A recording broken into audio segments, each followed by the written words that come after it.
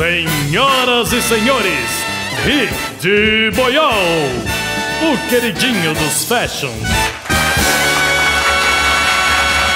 Olá! Estamos de volta com mais uma entrevista com o queridinho fashion do Brasil, o especialista em tendências Rick de Boiol.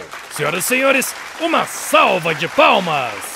Boa noite, Go, boa noite, Brasil. Ô Rick, o que que tá na moda no momento? Moda hoje. Mutação, always changing. Ontem, whatever. Hoje, Rick. amanhã, tomorrow. É. Bom, ô Rick, mas fora você, que mais tá na moda hoje? Cantor chato. Cantor chato? Yes, absolutely. Cantor chato é o novo must. Depois da propaganda do Biafra cantando Sonho de Ícaro no banco de trás de um carro, revival de cantor chato é o novo grito da moda. Nossa, como é que o Biafra aceitou fazer aquela propaganda, né? Money, baby, cash, fame, voltar pra mídia e ainda ganhar dinheiro, oh, até eu. Mas ô Rick, fora o Biafra, quem mais tá na moda? You want names? You want names? I'll give you names. Oswaldo Montenegro? Yes. TT Espíndola? Yes. Ovelha? Yes. Naim Giliar e Restart. Restart? Hello! Tem que dar espaço pra nova geração.